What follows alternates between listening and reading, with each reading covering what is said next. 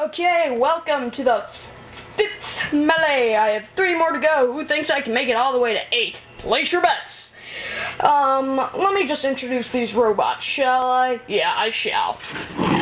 The Living Temple.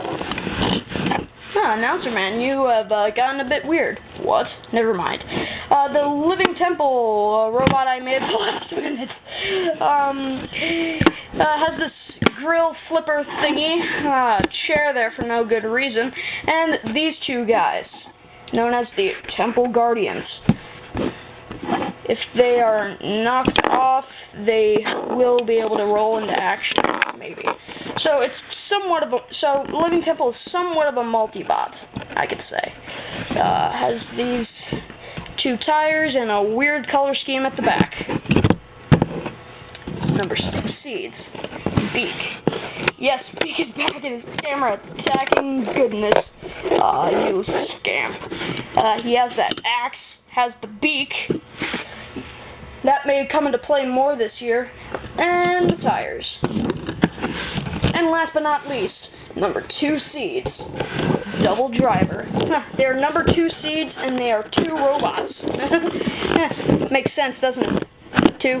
Two, yeah. Uh, as you know, they have those amazingly powerful flippers. Um, more than likely, we'll be able to throw even the biggest robot out of the arena. I am serious.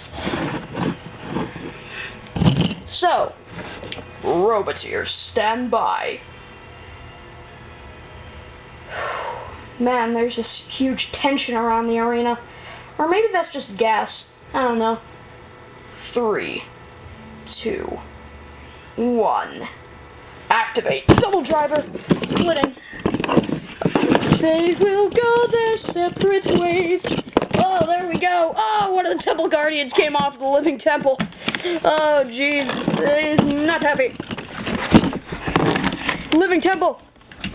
Fucking yellow. Move, beak.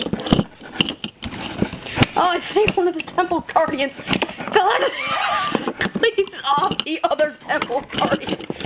Oh, jeez. I don't think the living temple. Oh, I knew the living temple wasn't gonna like that.